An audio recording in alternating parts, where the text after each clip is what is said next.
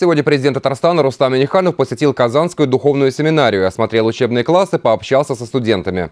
Здесь особое внимание уделяют возрождению иконописи. Главе республики рассказали об особой технологии, поделились секретом изготовления красок. Продолжился осмотр библиотеки, где хранятся старые книги. Самая древняя – Псалтырь 1621 года. После этого посетили храм Иоанна Кронштадтского, закончился визит чаепитием с блинами.